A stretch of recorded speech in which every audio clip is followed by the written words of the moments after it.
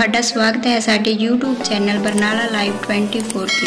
ਸਾਡੇ ਚੈਨਲ ਨੂੰ ਸਬਸਕ੍ਰਾਈਬ ਕਰੋ ਤੇ ਘੰਟੀ ਤੇ ਬਣੇ ਬੈਲ ਆਈਕਨ ਨੂੰ ਦਬਾ ਦਿਓ ਤਾਂ ਜੋ ਤੁਹਾਨੂੰ ਲਾਵੇਗੀ ਤਾਂ ਬਾਲ ਕੱਟੀ ਜਾਵੇਗੀ।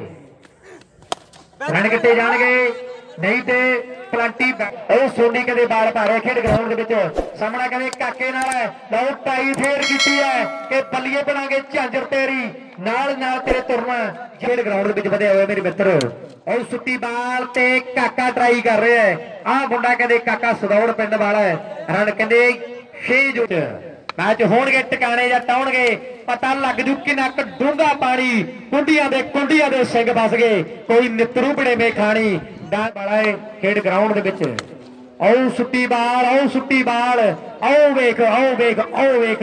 ਆਉਣ ਵਾਲਾ ਪਾਉਣ ਦੇ ਲਈ ਤਿਆਰ ਹੈ। ਆਉ ਪਹਿਲੀ ਪੈ ਗਈ ਹੈ ਪਹਿਲੀ ਪਹਿਲੀ ਪਹਿਲੀ ਪਹਿਲੀ ਪਹਿਲੀ ਪਹਿਲੀ ਗਰਾਊਂਡੋਂ ਬਾਹਰ ਹੋ ਗਈ ਹੈ। ਪਹਿਲੀ ਜਿਹੜੀ ਹੱਕਦਾਰ ਹੋ ਜਾਏਗੀ। ਲਓ ਅਗਲੀ ਬਾਲ ਸਾਹਮਣੇ ਖੇਡ ਮੈਦਾਨ ਦੇ ਵਿੱਚ।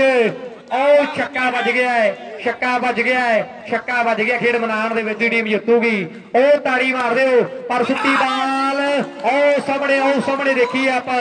ਰਨ ਜਿਹੜੇ 6 ਕਾਕਾ ਜੋੜੇ ਤਿੰਨ ਬਾਲਾਂ ਦੇ ਵਿੱਚ 6 ਰਨ ਚਾਹੀਦੇ ਆ। ਤਿੰਨ ਬਾਲਾਂ ਦੇ ਵਿੱਚ